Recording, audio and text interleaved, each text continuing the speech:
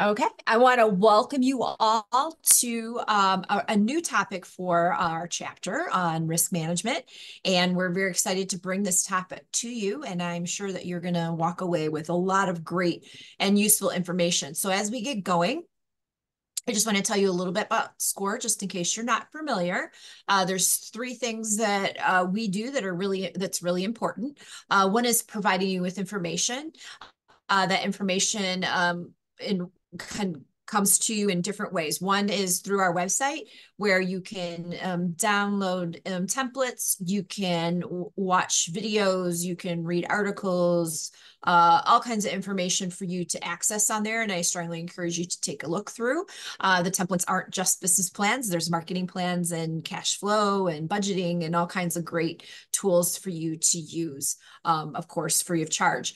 The other thing that we offer is the training. Uh, you're here today, webinars and workshops, um, some in person, person mostly uh, they are online.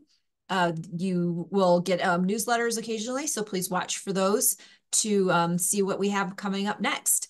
Um, the other important thing that we do, and probably the most important thing we do, is the, the our mentoring. If you go to the next screen there, Bill. Uh, our mentoring is free, confidential. Our mentors come to us with a variety of skills and experiences that they want to share with the small business community. We work with folks that are in that beginning stage. They're trying to decide if small business is right for them we're working with those that are in the planning phase. They're they're deep into that business plan and putting together their budgets and we're there to support them through that process. And we're working with those that are already in business. Um, maybe they're you're looking to grow or you're struggling with your financial reports or you want to help with a marketing plan uh, we have mentors uh, from in within our own chapter or our district, or we can reach out to the national level to get somebody to help you with the questions and concerns that you might have. Uh, a first session, if you've not met with a SCORE um, mentor before, is going to be a get to know you. They want to know what your goals are, what your challenges are, and they're going to help you formulate a plan to accomplish those goals and to overcome those challenges. And our mentors they work as a group. Uh, you're not you're not you're not just getting the brain power of one person you're getting the brain power of the group as a collective. Uh, they will reach out to each other to bring in you know different experts and and different uh, skill sets as needed to keep you going forward. Uh, next slide so getting that mentor is super, super easy. You can use that QR code and scan it to get to the, the registration page, or you can just go to the score.org website. There's a blue box, put your zip code in, and that will match you to the chapter that's nearest you. Uh, then they're going to ask you a couple quick questions, and that information allows that chapter to match you to the appropriate mentor for your situation. Uh, next page. And today we are going to go ahead and use that Q&A button on your Zoom bar, and that will be to submit questions to our presenter as we work our way through. And I'll read those questions out loud as appropriate to get your questions answered. Uh, everything else can go into chat. We are recording and you will be able to find it on the score.org slash Boston website. Uh, you can see there from the graphic. It'll be under the local workshops tab on the blue bar and you'll find it under previously recorded webinars. Um, give me at least 24 to 48 hours to get that posted for you, but that's where you're going to find it. So I'm going to go ahead and turn things over to our presenter today. Uh, Bill, it's all yours. Thank you very much. Uh, Teresa, thanks for bringing this together and everybody welcome. Um, just a little bit about me. I'm a lawyer. I've been in practice oof, a long time now, let's say. Uh, I'm one of the co-chairs here in Boston. And let me emphasize uh, something that Teresa said, which is please don't hesitate to come to us at any stage of the process, but particularly when you're in the thinking and vision and dreaming stage, it's it's often sad to see somebody who's invested in websites or things like that before they have a good business plan in mind. And you know typically your business plan is going to inform the structure of your website or your entity choice or how you're going to capitalize yourself and so on. So you from our perspective you are most welcome to come as soon as you have an idea that you want to to talk about. So today uh, I had talked to Teresa, and you know, because I'm a lawyer, I see a lot of um, issues from clients uh, about legal issues, how to manage risk in the context, you know, to prevent risk basically, and then some basic ideas about what happens when you and the other side of an agreement you have, either a client or a, a, a vendor to you, can't agree. So I thought I would offer this to you as, as an overview, really, of that of that process. Now, obviously, this is just an overview, so we really can't promise you that you're going to get. Oh, oh no, no, I'm not going to be able to back up, but that's all right.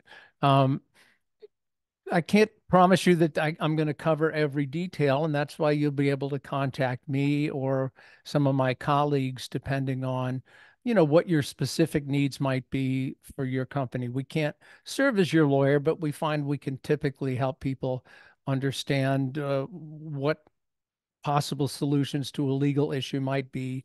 Certainly, to talk about how we can improve your uh, your three-legged stool that I'm going to talk about in a minute.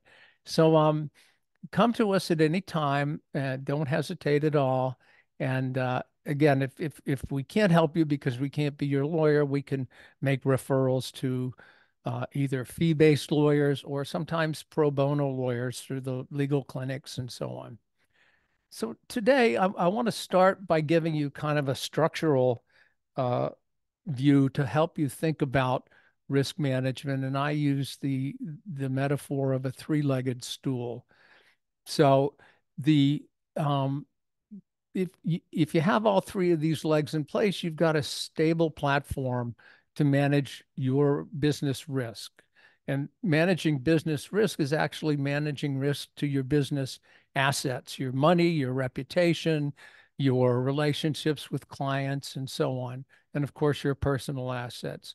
So the more stability means the less risk, and the fewer of these legs you have, the more risk you're taking on. Now, obviously, some businesses carry more risk than others. If you're a, a translator, that may be less risk than if you're serving as a coach, and we need to make sure that you're not providing uh, therapeutic services or you're publishing things and you may have intellectual property risk and so on. So that's a fourth element, but we're not really going to talk too much about that. But the three legs of my stool, if you think about it that way, are your entity formation. Are you going to be an LLC? Are you going to be a sole proprietor? Do you have insurance in place where you pay to lay some of that risk off on on your insurer? And then finally, one that um, we'll get a little further into the weeds on, which is contract terms that you should understand and certainly consider having in your agreements with your clients or agreements with your people that are providing goods and services to you. So the first leg of the stool really is are you going to have an entity uh, because you're small businesses and it's not free to form an entity we meet a lot of people and particularly in the excuse me the early stages of their business who are just operating as a solo entrepreneur. They don't have an entity and so on. And depending on the nature of the business um, maybe that's not a big deal. There's not a lot of inherent risk in the work that they're doing. But as you grow in size and scale, and you certainly, if you're, excuse me, doing something that has some risk associated with it, um, you know, if you're in the building trades, for example, if you're providing uh, services, personal services like massage or hair care, things like that, you know, there's, if you're dealing with children, there are risks involved there. And so the benefit to having a legal entity, an LLC, a corporation, is that you limit the risk of the operation of the business to the assets of the company. Excuse me, or put another way, if you don't have that, then your personal assets are at risk. So if you own a home, subject to a Homestead Act, maybe, but you know, the assets of your family, your assets of your business account are all in play if you haven't stuck that barrier of the legal entity uh, between you and anybody that might sue you. And I, I think Teresa will confirm we have an excellent workshop that we offer on in more depth about legal entities you may want to watch or attend when it's available to talk in more detail about that. But today I just want to give you a general overview about two of the most common ones that most people uh, need. And the first one is obviously the limited liability company. Um, the rules may be slightly different in each state and the fees may be different, but generally they're all the same. And what I'm going to talk to you about is, is how they apply pretty much in Massachusetts. So if, if you're at a stage where you don't have an entity yet and you want to think about how to do that, I've included here a great explainer that comes from nolo.com, which is one of these online legal um, you know, legal service providers. It, it, but it, it does a great job of explaining it specifically for Massachusetts. It's a step by step. It has all the links to where you need to go. You don't need to hire Nolo to do this. Uh, we can help you if you have any questions, but I'm sure I've referred over 100 people to Nolo, and maybe three of them have come back and said, Oh, I have a question about something. So again, it's it's the most cost effective way. The filing to the state is an annual filing of about $500 a year. I don't keep up on the fees. And one benefit to the LLC, we're not going to get too far. This would be in the other workshop, is that there's no taxation at the level of the LLC. So every uh, all the earnings and revenue of the company minus your business deductions are uh, created in a Schedule C or a Schedule K1 if there's more than one member, but there's no tax there, and then you're taxed at your individual level going down. So that's that's a pretty simple and efficient way to create that first leg of the stool and start limiting your risk by limiting the amount of personal exposure uh, you you can have because of the uh, the operation of the business so the C corporation has very similar uh, uh, protection for the owners of the business. You, there are some benefits to the C corp in terms of being able to issue shares as a way to capitalize your company, and so on.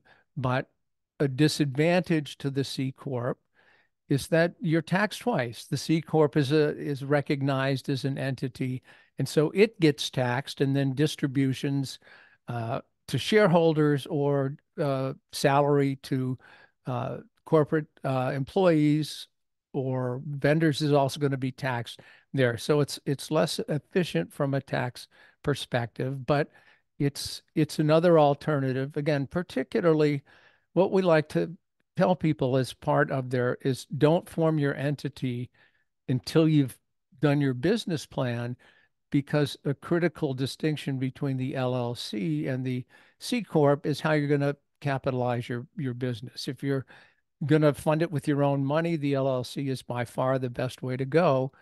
Uh, but if you're going to ask people who to fund you, but you don't want them involved in the management of the company, you know, issuing shares might be a better way to go. And certainly, if you're looking at venture money or money from angel uh, investors or so on, they're probably going to want to see a C corporation structure because they're going to want to own those those shares. But again, today we're focusing primarily on liability.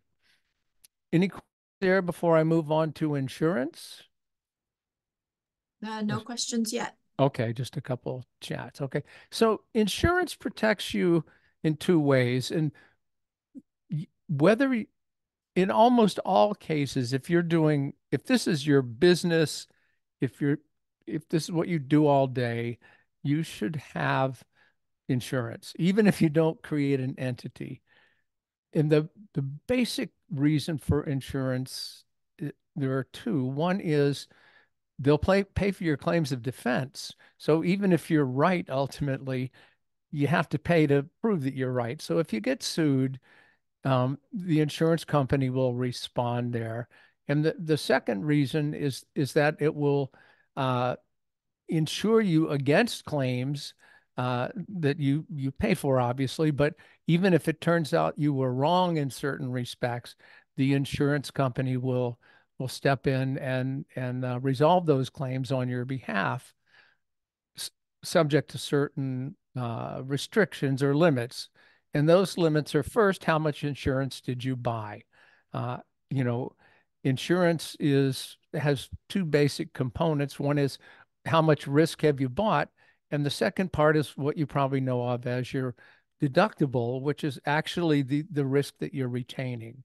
So if you have a million dollar policy and a $10,000 deductible, that means the first $10,000 of the what would otherwise be covered by the insurance company, um, you're going to pay for out of pocket. So when you are uh, negotiating with an insurance broker or an online company or what have you, you typically want to ask, um, think about how much retained risk or deductible you can afford, and what's a realistic number uh, for the absolute amount of insurance that you need. Again, if you're if you're uh, a chiropractor, somebody who's dealing with people, dealing with children, you know, the likelihood of risk is small, but the impact of somebody making a claim can be large. Improper touching, or certainly anything that is alleged to be an improper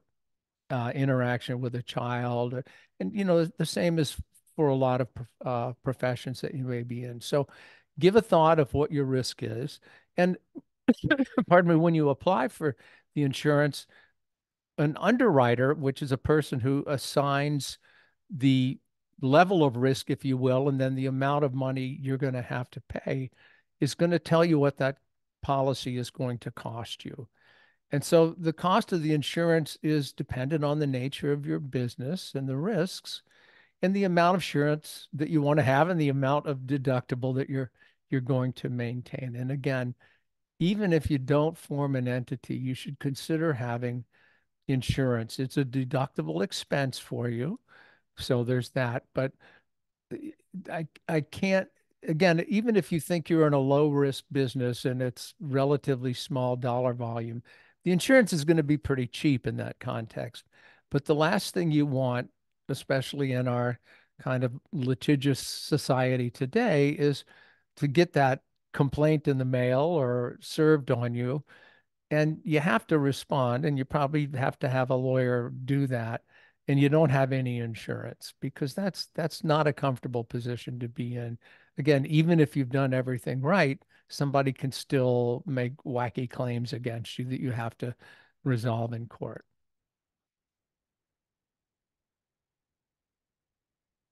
uh, for some reason this is right oh there we go so there are three basic, this is where we're going to probably spend the most time on, which is on leg three of the of the our little three-legged stool.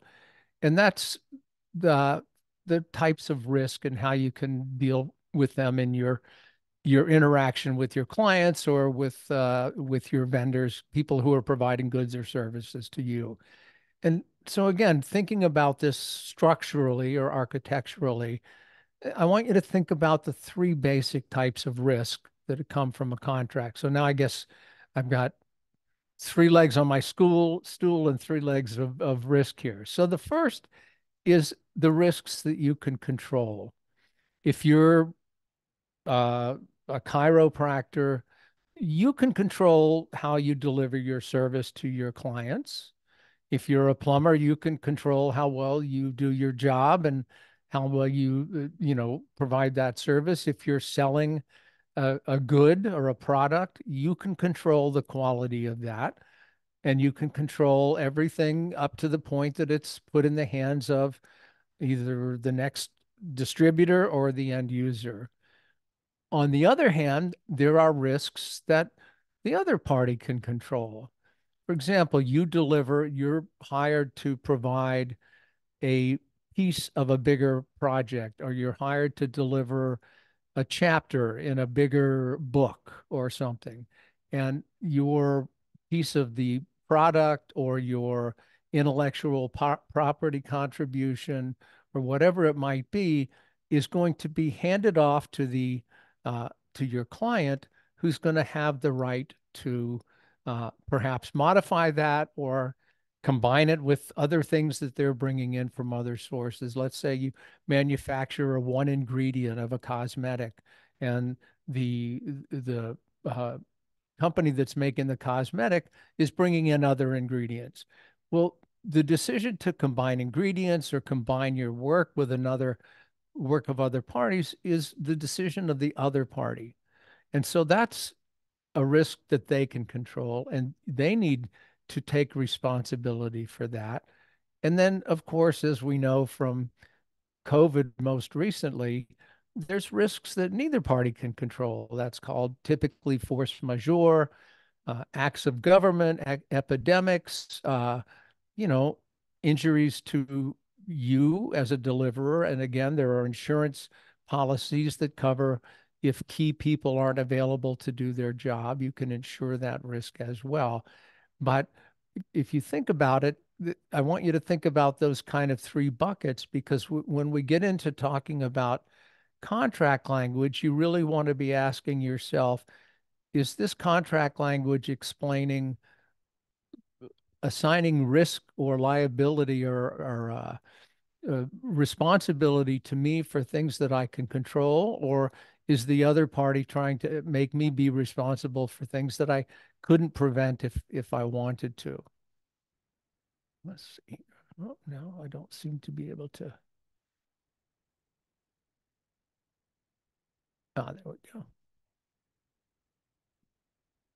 So those of you that have contracts, I if you have written contracts, let me just say, I think I'll mention this later, but I worked with a colleague of mine, John Ballinger, to create a suite of uh, template legal agreements, you know, goods and services, hiring independent contractors to, you know, deliver services to you, contracts with your clients. It can, you know, form a, a basis that address these terms and uh, form a basis and a structure for you to think about not only how to discuss your scope of work and so on, which is a form of addressing risk, but also these uh, legal issues that we're going to talk about in more detail. So there are several terms we're going to talk about here. And I, again, we can't probably dig into all of them as deeply as we'd like, but I think you need to be careful when you're signing contracts, particularly ones if you if you're lucky and you have a big corporate client. There's, you know, sometimes they'll issue an invoice or they'll issue their stock form and they'll send you something with uh, liability terms and indemnification terms that we're going to talk about in six point font. And you know you didn't go to law school you know you want to get the job because it's very lucrative or it's an important opportunity. And so you tend to gloss over that stuff. So i want to at least make you aware of what some of those terms may mean and how you want to think about them in the context of you know, the value of the job and so on. So basically, we're going to talk about these in two contexts. One is the scope and limits of each party's liability. Again, what are you responsible for? What are you in, in the position to control? What are they responsible for and what the what no one can be responsible for? And then the other one is agreed upon limits of your financial liability, or if they're providing goods and services to you, their financial responsibility. So you can see we're starting to create a little uh, uh, kind of structure here of, of how to think about these. Oh, for some reason, this doesn't.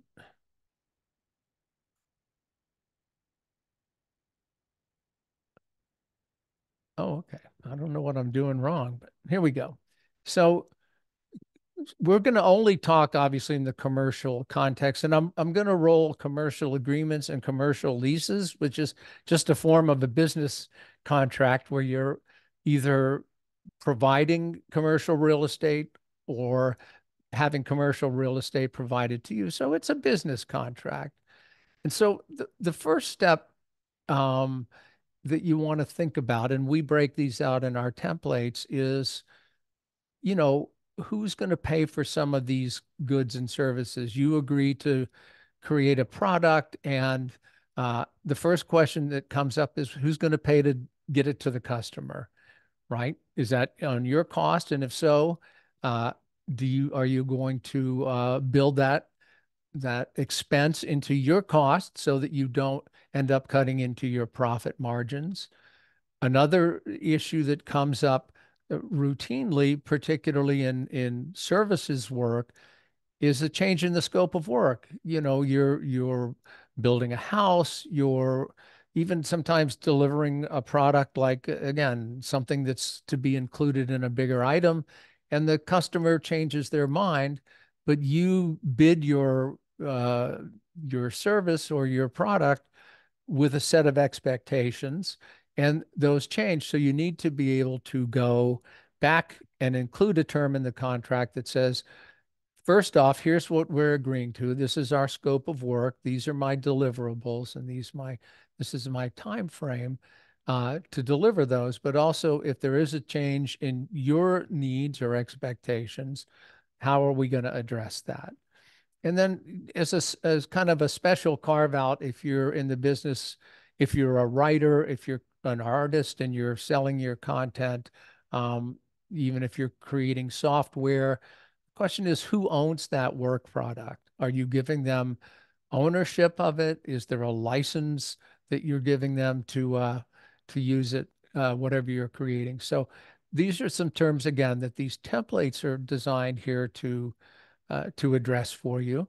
Um, and uh, so you know reach out to john or to me or to teresa and if you have more in-depth uh, questionings. Some of the more complicated stuff and frankly this is where even i sometimes i looked at a clause the other day that must have been i don't know almost a page long and it, it, it was i think there were two sentences in the whole page and it was almost impossible to understand what the other side was trying to say about who was responsible for what and what the what would happen and so on. Um, so these can be very complicated. They can be sometimes by design extremely hard to read. But two I want to talk about in a, in a little detail here are um, the indemnification clause and what a warranty or a representation is. So a, a warranty in general is your promise to your client or if you're the client, your vendors promise to you about the quality of the product, uh, ownership, eh, certainly in the IP context, they if they're delivering intellectual property to you, that they own what they're able to deliver. So typically, these are the things that uh, uh we're going to get into in the next slides, I think. But the the idea here, again, referencing back to our structure, is that you're only going to want to take responsibility for something that you're in the position to control or that is out of the control of either party. And you need to be careful that this language assigns risk based, based on who's in that position to, to control it. I wish I knew what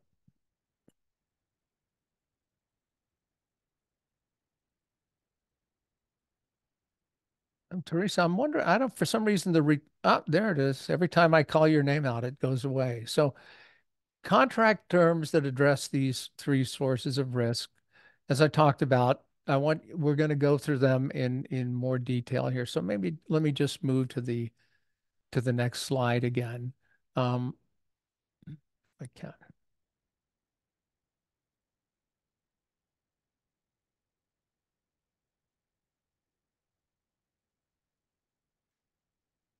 Oh, okay. So now I seem to be going backwards here, Teresa.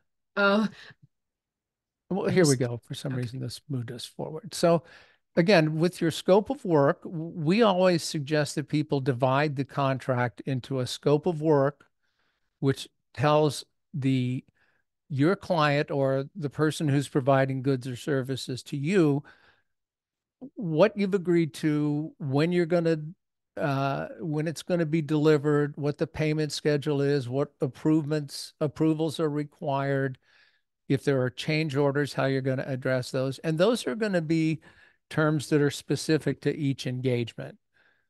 Okay, so the uh, when you we tell people negotiate your scope of work first because that's really what both sides are really interested in. And then the second part, which we're going to talk about next, uh, is going to be kind of the legal and business terms in the boilerplate. But the key is specific, uh, particularly with the scope of work, you want to hammer that, nail that down as well as you can, because that's really where your your profit margins are going to uh, rise or fall. If it ends up on a flat fee job that it takes much more time because the client keeps changing their mind about what they wanted, you need to be able to uh, assert your change order in the scope of work to say, look, here's what we agreed to. I understand you want something else, and I'll tell you what that's going to cost. But you can't have a client that keeps just changing their mind, you know, without you getting compensated for that. So now we're going to get into the uh, more nitty gritty here. So a lot of times you'll see, you may see this in your contracts to your your clients, or you may want to put these in your contracts with your vendors, people that are delivering goods or services to you. But a warranty is a, is a contractual promise that the service or product will be, or the product will be formed to a certain standard, or that the product will meet the specifications. And those go back to the scope of work. So you want to make sure that warranties are kind of consistent with what you've agreed to. And that when people talk about the level of performance, you want to think of terms like good and workmanlike and so on. Um, that so you really want to make sure that you're not promising that this will be of absolutely perfect quality. Things can happen and you're not you're not in a position to take responsibility for every every risk or any potential flaw. And people make mistakes sometimes and you know we're going to talk about that a little more in the context of indemnification and limitations of liability. But you know people do make mistakes. And certainly if you're creating intellectual property um, you want to avoid a clause that says warrants in an absolute way that your work will not infringe the rights of the parties. You want to use a phrase like to the best of my knowledge or something because you're not their insurer either, either your client, and certainly you want those vendors to, to stand behind their work, but the the client that's buying anything, but particularly intellectual property, needs to have its own insurance about their business risks. And we don't want them to push those risks onto you uh, that they should be carrying. So now comes indemnification. And again, these can be extremely complex, uh, you know, one long sentence with a million subordinated subordinate clauses and just can be crazy. But I'm going to try to explain to you in in general terms what an indemnification is hoping to do, which is basically to, in the context of who's responsible for what risk, the indemnification clause is the clause that should start with the premise that it's going to uh, make you indemnify, and I'll talk about what that means, which is basically pay the other party's losses arising from your failure to do what you promised to do. Okay. Now, excluding if you can't do it because of force majeure or some third party like an epidemic or a hurricane or something. But basically, when you are thinking about your scope of work and any warranties that you're making about the quality of the goods or services, your indemnification clause should be consistent and say, as long as I do what I promised, the way I promised it, and consistent with any warranties or promises I made about quality, I'll stand behind my uh, my promises related to those things, and I will indemnify you for those. And what that means is you're going to agree with the other side that you will pay for their losses, uh, subject to certain limitations. Um, if if you don't do basically what you said you were going to do eh, in the contract. So again, I hope you're seeing that this is all kind of of a piece and that um, when you when you're negotiating the, that scope of work and those terms, that's really what's going to set up the discussion about your indemnity clause. So when you when you see these, this is you know where the, lawyer's uh, dream come true comes in. They often have a laundry list of potential damages. So again, without going into too much detail, the most obvious type of damages are direct damages. You say that you're going to deliver something on time uh, so that they can incorporate it into a product and put that product out in the market. You fail to do that, or you don't deliver the product in the form that you agreed to do it, and they can't sell their product, and so they don't make sales.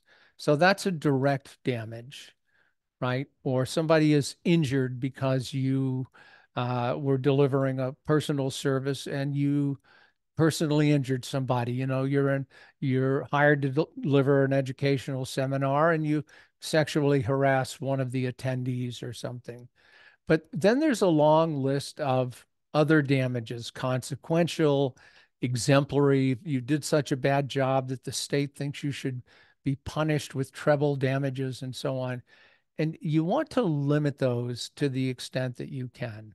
There's a, we're going to talk about another way to limit those or two more ways, but you don't you want to try to limit your damages to direct damages, you know, because very creative lawyers, you could have a $10 direct damage claim, but a million dollar consequential claim. It's like the old children's rhyme about, you know, the want of a nail. The horse was lost for one of the horse. The kingdom, you know, the king was lost, and for one of the kingdom, the king, the kingdom was lost. So, you know, we don't want to go down and down that causality chain like that.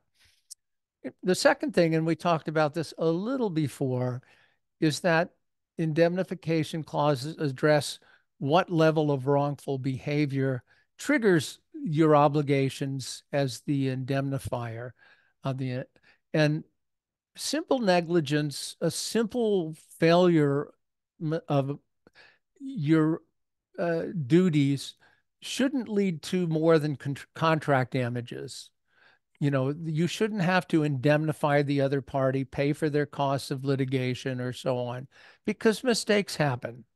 And, you know, that's why we I encourage you to think about a higher standard if you can get it, where your negligence is willful or gross, which means, you know, any moron should have realized you were making a mistake or that you kind of intentionally ignored your obligations, or obviously the highest one is where you intentionally do something wrong. If you, God forbid, intentionally uh, interact improperly with with one of their customers or somebody that's at a workshop or a child in their care or so on.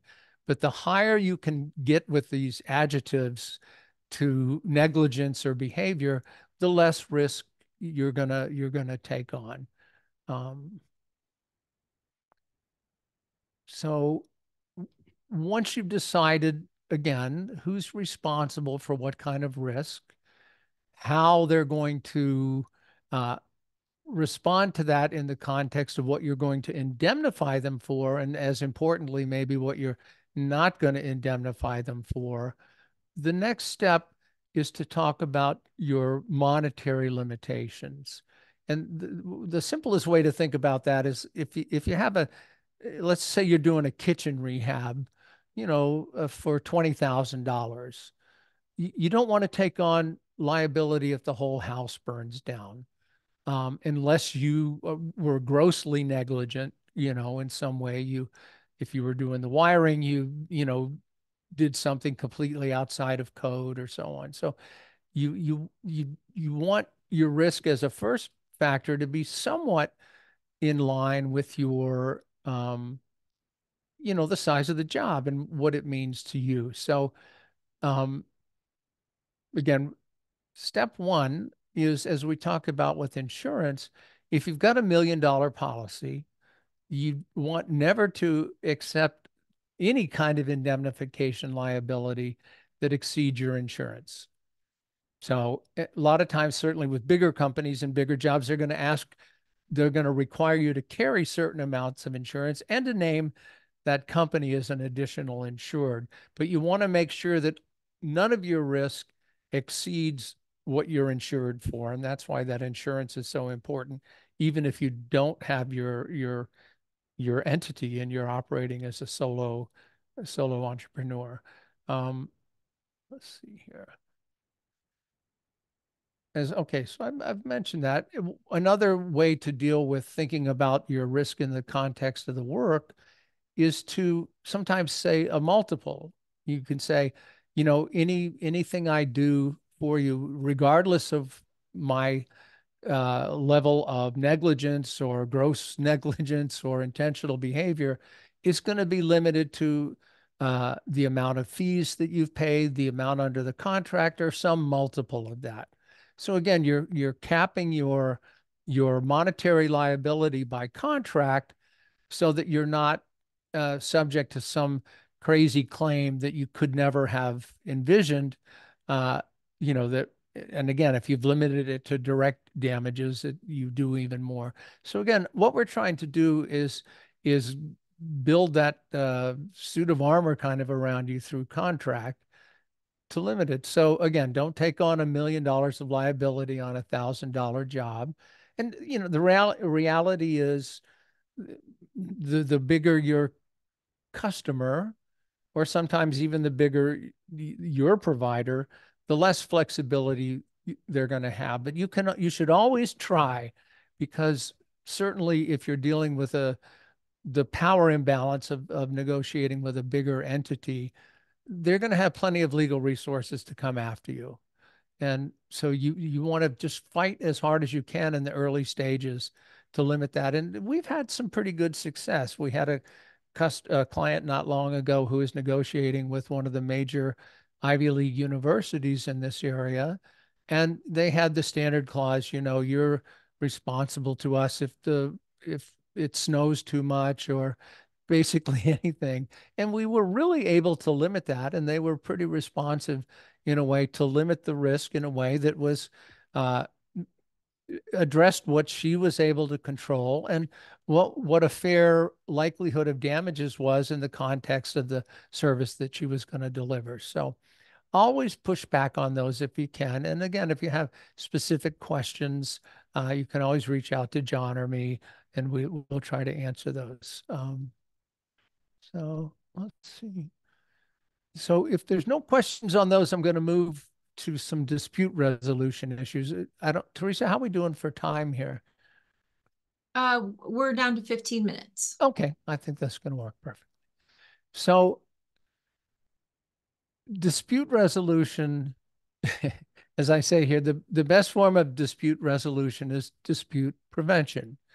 So the key to dispute prevention is a clear and comprehensive contract. That that's why we always emphasize a a detailed scope of work. I we get so many clients coming in on both sides where th their client or somebody they was going to do something to they're upset but they they were both in such a hurry or didn't uh, think it was important to detail who is going to do what and when they were going to get paid but and now they're fighting and you say, well, what's the contract say? And it basically says nothing. So we, we created these templates as a way to not make you have to recreate the wheel every time. But, you know, when you're closing an engagement or a deal with a client, you know, you want to be bulleting what that scope of work is going to look like and nail that down with them, even though it feels like it's getting in the way of getting started on the job, perhaps. Um, because that way it'll never come back to haunt you. So the contract form, the things we've talked about in terms of limitations of liability, kind of the legal boilerplate side, that's those are critical elements of dispute prevention. if you, but you also want to have in a in a contract um, how you're going to resolve your disputes. And we'll talk about this in a little little detail, but generally you have two paths for anything other than mediation. Um, one is arbitration, which is a little more expensive because you have to pay the arbitrator, but it's much quicker. And then the second is going to the courts, which is cheaper, but a lot slower. I mean, you know, very few pay, uh, cases actually go to trial, but it, it can still, it takes a long time for the courts to act. It takes a long time to be heard on the various legal motions that take place. So, you know, on a even a simple kind of contract claim, I had one that we ultimately settled it, but we were almost three years into it and had never even, uh, we weren't even close to trial at that point. So again, much cheaper, but you have to factor in the cost of your lawyer. Those transactional costs are much higher, even in court. And it's, if it's a significant dispute, you're not going to do it on your own. And so another step to kind of uh, head it off if you can, which I find very useful in a lot of cases, is to consider a mediation clause that would uh, go in prior to to your uh, decision making. So th the differences are that mediation is a voluntary process. A neutral party comes in. A lot of the courts, certainly in Massachusetts, I'm in. We had a dispute. We were subject to a bench trial on uh, on Monday, and we got up there. excuse me, and the other side said, "I'm not sure. I, I really want to litigate this." So we asked the judge, and they hooked us up with a, a court uh, sponsored mediator. It's free, um, and they're usually pretty good. Sometimes they can help. They're not. Um, you can leave mediation at any time. The discussions are confidential. They can't be even offers that you make during mediation are, can't be introduced as evidence, but they are non-binding. So, you know, a good mediator can sometimes help you come all the way to closure. They can help you narrow the number of issues. You can agree on some and, you know, have a much narrower set of issues that you're going to take to uh, a third party binding uh, decision making.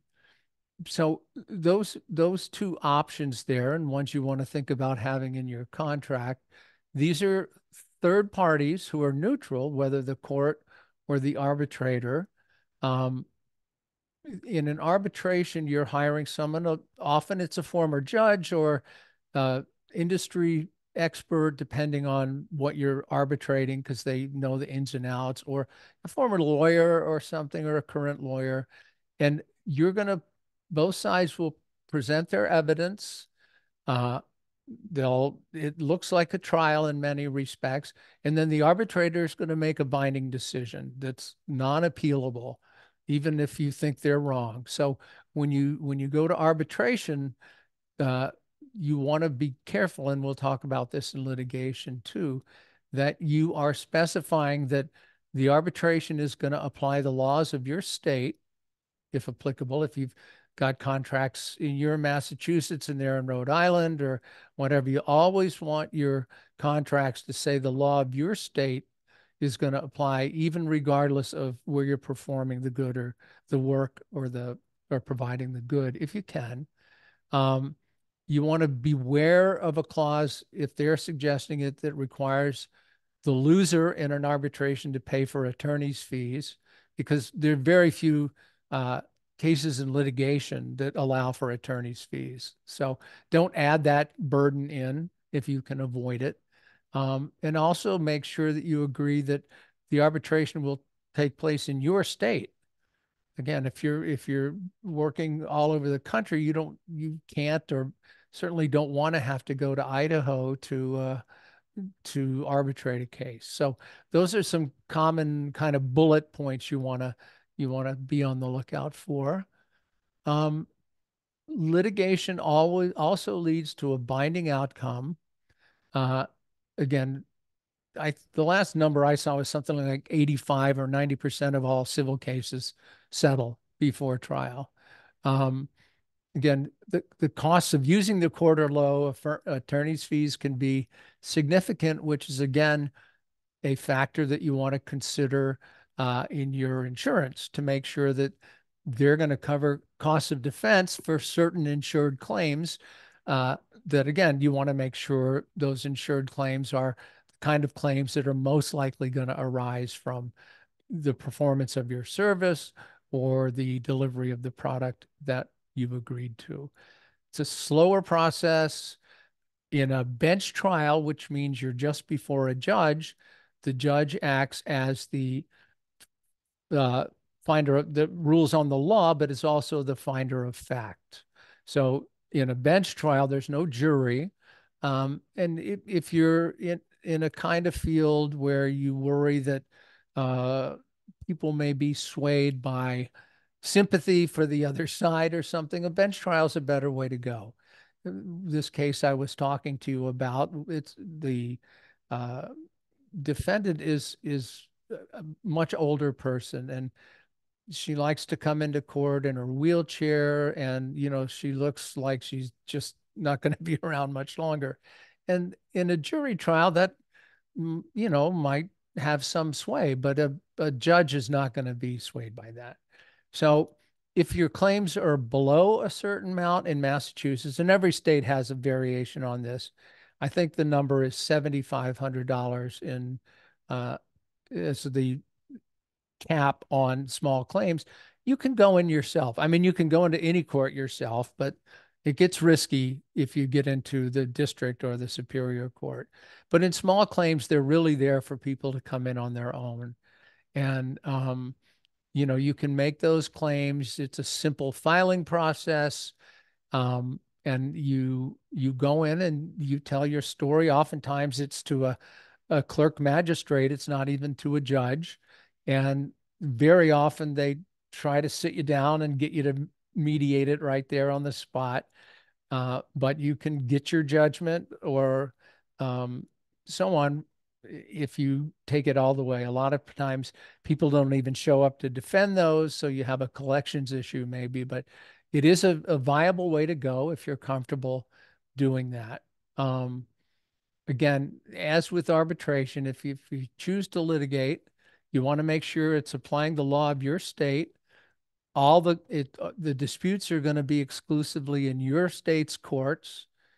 Uh, so again, this is limiting your expenses of of of dispute resolution. Okay, so I think I've come to the end here. If unless you have any questions, my kind of final thoughts are reach out to John. There's his email, and maybe Teresa put that in the chat as well. Um, or or Teresa, you're always I'm always happy to try to help you uh, to the extent that we can without acting as your attorney, but there are resources. And um, you know, I hope you found this useful. If you have any questions, I guess we have a few minutes left. So uh, let me know. Otherwise, I want to thank you for coming and, you know, reach out to us if we can help you. Uh, I did have one question that was posted earlier. I, I did save it because um, I know you'll talk about it briefly when we do the, um, business entities, but I did have a question about incorporating in another state mm-hmm. uh, outside of um, Mass. you know Massachusetts. Yeah, and I can you address that really quick? Yes. So the if you want, there's if you're going to be located in another state and doing business there, then you can uh, just register yourself there initially. If you have a business in Massachusetts, but you decide you're going to set up another office or also be doing business, let's say in Connecticut, then what you do is you maintain your Massachusetts business and you register as what's called a foreign entity in Connecticut. So you could and you can really just google uh, if you're just going to that state go to nolo and put in uh, set up llc in connecticut let's say um, and you can also just google uh, set up foreign entity in connecticut let's say and their their little step by steps are usually impeccable. So that's how that would work Okay. Uh, I don't have any other questions posted. Good. Well, So, again, thanks for coming. And Okay. uh, hope to see you again soon. Thanks, Teresa. thanks, Bill. Yep. Bye, everybody. Bye-bye.